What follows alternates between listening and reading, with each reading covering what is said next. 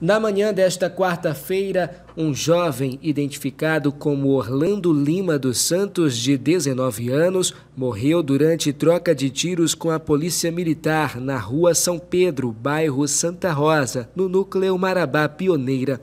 O rapaz seria integrante de uma facção criminosa.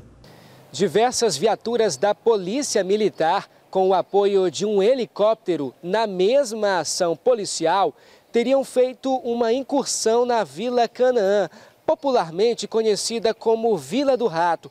Mas o suspeito, que era procurado pelas autoridades policiais, identificado como Kelvin, conseguiu fugir do cerco policial.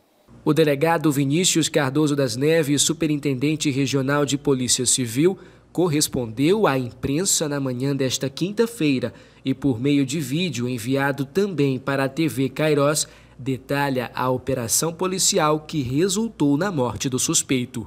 A Polícia Militar deflagrou operação com o objetivo de reprimir o tráfico de drogas e capturar foragido da justiça, sobretudo na região da Marabá Pioneira.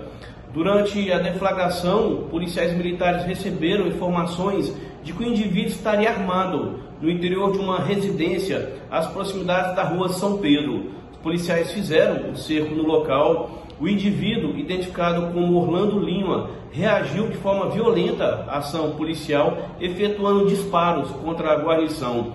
Houve revide, ele foi atingido, socorrido às pressas ao hospital municipal, no entanto, evoluiu a óbito.